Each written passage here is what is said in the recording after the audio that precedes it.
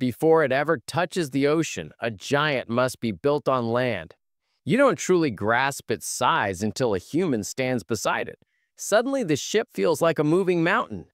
Even the rounded bow at the front has a mission cut through the sea with as little resistance as possible. But these machines aren't made to sit still. Their real home is out there, hauling cargo equal to the weight of entire cities. Stacked containers rise like skyscrapers, traveling across oceans, while tugboats guide the vessel with surprising accuracy.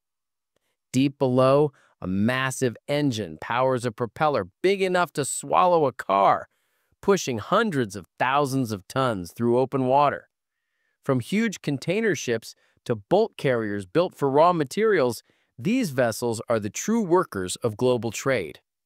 Their journey ends here, at the busiest hubs on Earth. Teams of tugboats move in formation, steering the steel giant into position with slow, perfect control. And once docked, the operation never pauses. Ports stay awake 24-7. Towering cranes swing into action, lifting containers non-stop, while huge grab machines load and unload resources by the ton.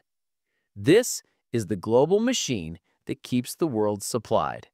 This is how everyday products, raw materials, and everything in between travel from one side of the planet to the other. This is how everything gets everywhere.